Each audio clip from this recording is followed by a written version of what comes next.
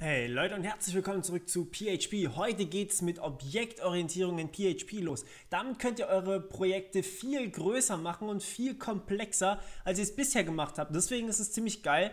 Und ähm, ja, ich möchte euch heute zeigen, was Objekte überhaupt sind und von was ich da zum Geier auch rede.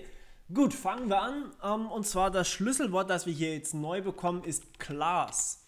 Class bedeutet, wir erstellen uns eine neue Klasse. Das ist sowas wie eine Funktion, nur noch ein bisschen komplexer. Das heißt, wir erstellen uns hier was, aber wir machen aktuell eigentlich noch gar nichts damit. Okay, wir erstellen uns jetzt zum Beispiel die Klasse, hm, die Klasse User. Dann haben wir gleich einen relativ praktischen Fall, denn man möchte vielleicht für jeden User ein Objekt anlegen, also eine Instanz der Klasse. Ähm, ja, egal. Ich werde euch einfach erstmal äh, damit konfrontieren und dann werde ich euch erklären, was es ist. Gut, wir haben jetzt hier noch mehrere Schlüsselwörter eigentlich. Und zwar, wir wollen, dass der User aus zwei Variablen besteht, nämlich einer ID und einem Namen. Also var definiert uns eine Variable ja, wir müssen jetzt hier tatsächlich wahr vorne dran schreiben. Bislang mussten wir das nicht, aber das liegt daran, dass wir hier keinen Wert zuweisen, sondern quasi einen Blueprint, also einen Rohling von unserem User angeben. Und der hat natürlich keine Variable. Denn wenn ich sage, generell jeder User hat eine, eine ID und er hat einen Namen, dann kann ich nicht sagen, jeder User hat die ID 1 und jeder User hat den Namen Morpheus. Denn das geht ja nicht. Es muss ja bei jedem User ein anderer sein. Deswegen wir erstellen hier gerade einen Blueprint, also quasi einen Vordruck, ein Rohling für unseren User. Okay, also Dollar $ID wäre die ID und var Dollar ähm, Name wäre der Name des Benutzers. So, und das ist jetzt unsere Klasse. Wir wollen allerdings noch mehr. Und zwar eine Klasse kann auch Funktionen enthalten. Das ist sehr praktisch. Ähm, zum Beispiel können wir sagen, ja, vielleicht irgendwas komplexeres als einfach nur ähm, ausgeben, könnt ihr euch sicher wahrscheinlich was drunter vorstellen. Zum Beispiel eine Anmeldefunktion oder sowas. Ähm, speziell für jeden User, dass jeder User auf eine Custom-Seite geleitet wird oder sowas in die Richtung. Keine Ahnung, aber wir machen jetzt hier einfach mal nur eine ähm, eine Print-Funktion, eine Ausgabefunktion, äh, print me. So. Und hier rein kommt jetzt einfach nur ein Echo. So, und hier können wir jetzt auf die Variablen zugreifen. Auf diese ID und auf den Namen. Aber Vorsicht, wir können nicht einfach $ID oder $Name schreiben, sondern wir müssen jetzt über this gehen. This ist das aktuelle User-Objekt. Das bedeutet, this ähm, liefert mir sozusagen den User, mit dem ich es gerade zu tun habe, also der diese PrintMe-Variable, äh, die PrintMe-Funktion aufgerufen hat. Also sagen wir mal, ich bin jetzt ein User, ich bin eine Instanz der Klasse User, also Morpheus, ja. Das heißt, ich habe hier eine ID, zum Beispiel 1 und als Name habe ich hier Morpheus. This liefert mir dann den kompletten Morpheus zurück, wohingegen this und dann ID ohne Dollar, das ist das Interessante daran, This ID liefert mir die ID vom Morpheus, also die ID von dem Morpheus. Das von ist dieser Pfeil hier.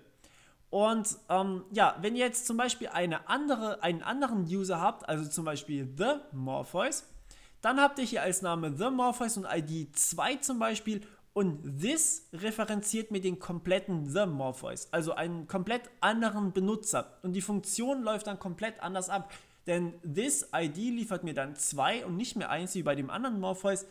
Und ähm, der Name liefert mir dann the Morpheus. Okay, schön. Ähm, das heißt, wir wollen hier echo this ID. Ähm, wir wollen ein Leerzeichen drin haben und dann wollen wir noch den Namen ausgeben. Also auch über this File Name. So, das ist auch für mich sehr ungewöhnlich, hier über äh, diesen Pfeil und dann das Dollar nicht mehr hinzuschreiben. Hat, glaube ich, keine andere Sprache so in der Form. Aber okay, wir können natürlich hier auch wieder Parameter und so weiter eingeben, das, was wir gerade brauchen, wie bei jeder Funktion auch, aber ich glaube, das brauche ich euch nicht erneut zeigen.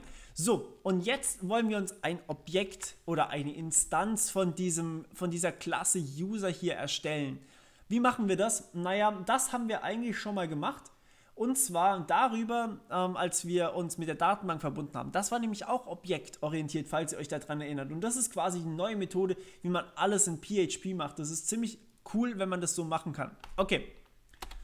Ähm, genau, was wir jetzt hier machen, ist also, wir erstellen den User $Morpheus Ähm, normalerweise würdet ihr hier den User entweder User 1 oder sowas nennen oder irgendwie anders. Also ihr wisst natürlich den Namen normalerweise nicht, weil man diese Objekte hier dynamisch erstellen kann. Also ich kann hier zum Beispiel sagen, ich krall mir die ID aus meiner Datenbank, ich krall mir den Namen aus meiner Datenbank und dann erstelle ich mir ein Objekt vom Typ User, also ein, eine tatsächliche Instanz von diesem Blueprint und ähm, nur die Werte sind aus der Datenbank. Das heißt, ich weiß gar nicht, was hier drin steht. Deswegen sind es ja Variablen. Das ist ja das Coole gerade dran.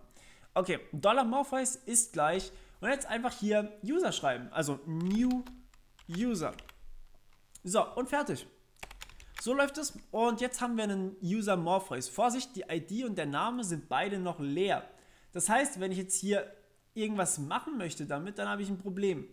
Jetzt brauche ich also erstmal, ähm, ich muss erstmal diese Variablen jetzt setzen. So, das mache ich, indem ich sage Dollar Morpheus File und dann sage ich, okay, ich hätte gerne meine ID oder sowas. Ähm, das bedeutet, ich werde hier jetzt wieder drauf zugreifen, auf den Morpheus. Also ich sage quasi, das ist jetzt ein User, eins von diesen komischen User-Objekten hier.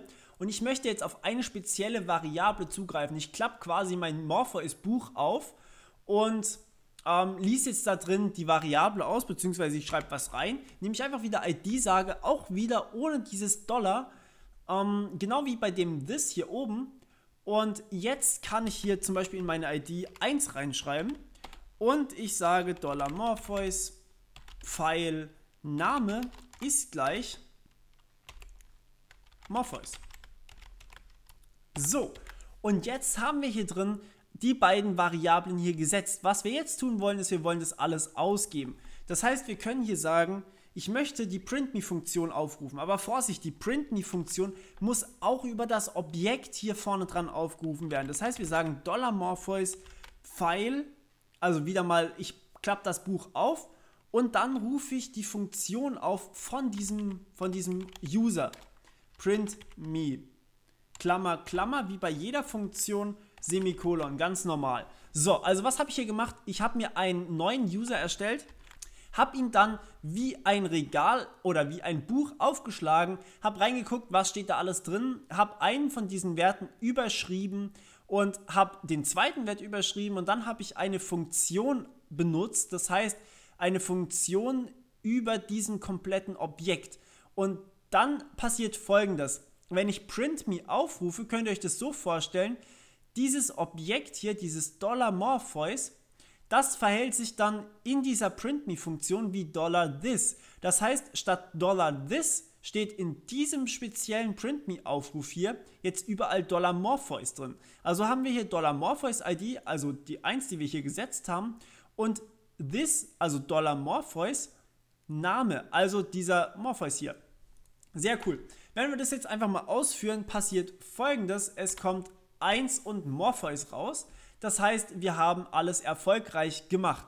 So, und jetzt machen wir das natürlich nicht nur für eins von diesen Objekten hier, sondern wir wollen auch noch einen zweiten haben. Also zum Beispiel Dollar äh, Batman ist gleich New User wie letztes Mal auch. Und hier sagen wir jetzt Dollar Batman, der bekommt jetzt die zweite ID, ID gleich 2. Und er bekommt Dollar Batman den Namen äh, Batman. Wie wär's? Und wir sagen Dollar Batman print me.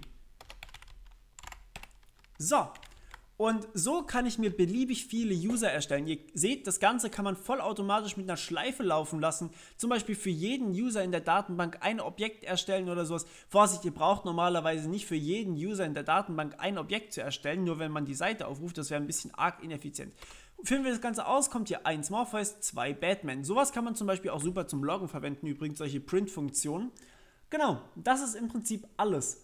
Was wir jetzt noch ja, das machen wir dann nächstes Mal. Und zwar, es gibt noch sehr, sehr viele Sachen bei Objektorientierung, die ihr bislang noch nicht kanntet und die einfach mega praktisch sind und euch das Arbeiten wirklich erleichtern. Also vor allem auch diese Übersicht, dass wir hier tatsächlich über einen User die PrintMe-Funktion aufrufen können und nicht einfach schreiben müssen, PrintMe Dollar, äh, Dollar Name von Batman, Dollar äh, ID von Batman oder sowas. und dass wir dann einfach viel, viel weniger Variablen haben. Das ist einfach so viel übersichtlicher und viel praktischer. Deswegen, ja, kann ich absolut nur empfehlen. Okay, sehr gut. Ähm, machen wir das mal wieder rückgängig und das war's dann von meiner Seite. Ich hoffe, es hat euch mal wieder gefallen und wir hören uns beim nächsten Mal. Bis dann. Ciao.